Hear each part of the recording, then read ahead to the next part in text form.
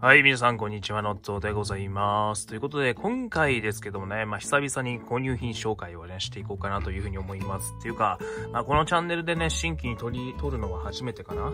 えっ、ー、と、ちょっと前にね、えっ、ー、と、ショニマスの、えー、誰だ、アイスシュバルツのね、開封動画上げてるんですけども、それはまあ、再投稿したものなので、今回やっていくのが、もう本当にこのチャンネルでは初めての購入品紹介ということでやっていきましょう。まあ、今回ね、買ってきたものというか、届いたものがありまして、まあ、ちょっとしたものなんんですけども、以前のチャンネルにね、でですね、あの、プレミアムバンダイの方でガチャガチャがあるんですけども、ガチャガチャオンラインみたいなのがあって、そこで、まあ、ツイステ関係のね、ガチャを、えー、3回ほど回しまして、それがね、えー、と、ちょっと前に、結構2週間前かな、もう2週間前にあるんですけども、届いたので、それをね、紹介していこうかなというふうに思います。はい。ということで、このプチプチの中に包まれた中に、その物があるので、早速開けていきたいと思います。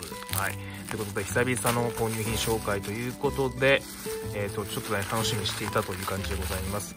プチプチのベールを脱ぐとこんな形で、えっ、ー、と、なんだっけ、ペンかな？うん。各量の、なんかペンなんだよね。はい。これだ、これだ。クリスタルドットチャームか。はいはいはい。クリスタルドットチャーム。これ300、えー、3じゃない、600円か500円ぐらいしたんだよね、これ。を、まあ、3回ということで、まあ、ちょっと一回中身見ようか。実はね、死、死の国のやつが被ってるんですよね、これ。うん、これこれこれ。二つ被っちゃってるんで、一つは、まあ、保存しとこうと思います。で、今回ね、こちらの当たったこの2つをね、開封していきたいと思います。クリスタルロットチャームの、えーと、百獣の王、そして死者の国の王ということで、この2つですね、見ていきましょうか。うん、えーと、開けられるようにはなってないから、これはハサミ必須だね。はい。さーっといきましょう。はい、着てきましょう、着てきましょう、着てきましょう、着てき、着てきましょうってなんだよ。はい。まあ、まずこの、なんだろう、説明書かな見ようか。こんな形でございますと。うん。本当はね、このリンゴ、俺、あれだな。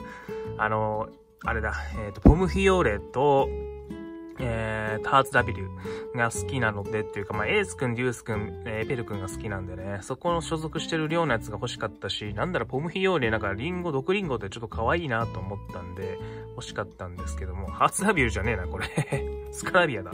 こっちがハーツ W だね。はい。この7種類だったんで、さすがに10回やると絶対どっかで被るかなと思ったんで、今回3回にしたんだよ。3回引いたら、なんか好きなのがね、当たるかなと思ったんだけど、結局、ここと、ここで、ここがダブってしまったって感じかな。はい。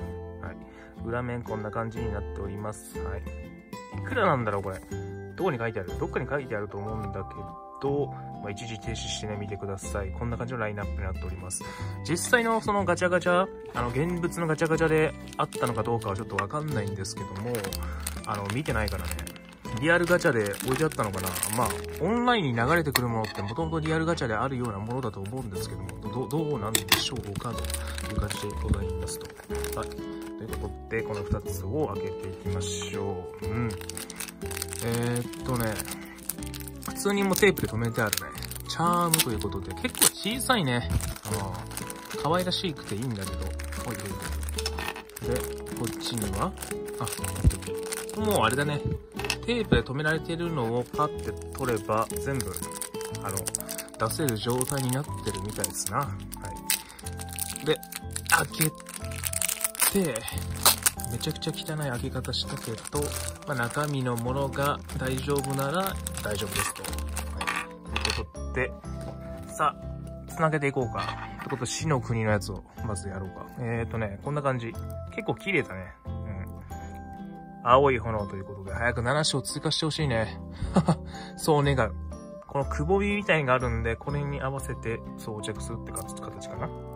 うん。できる？結構硬いぞ、これ。え？うわ、折れるかどうかし、すげえ心配になってくる。え？この向き合ってるよな。うわ、よくあるよね。このガチャガチャあるある。めちゃくちゃはめにくいの。え？合ってるはずなんだけど。な、全然、はまらんぞ、これ。力任せにやるとやばいから、とりあえずこれ一旦やめよう。まずこっちやろう。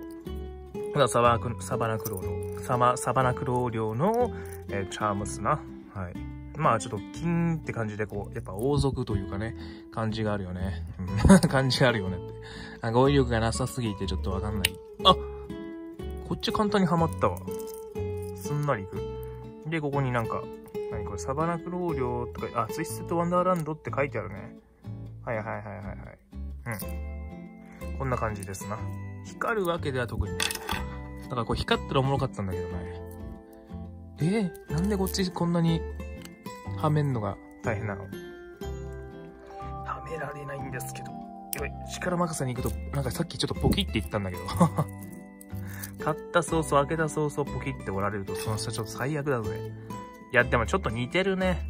この、ちょろんってなってるのが、ここの先端部分がね。これも同じように、ツイステッドワンダーランドって書いてあるかな。はい。金と銀でね、まあ、対になってる感じがあっていいかなと思うんですけども。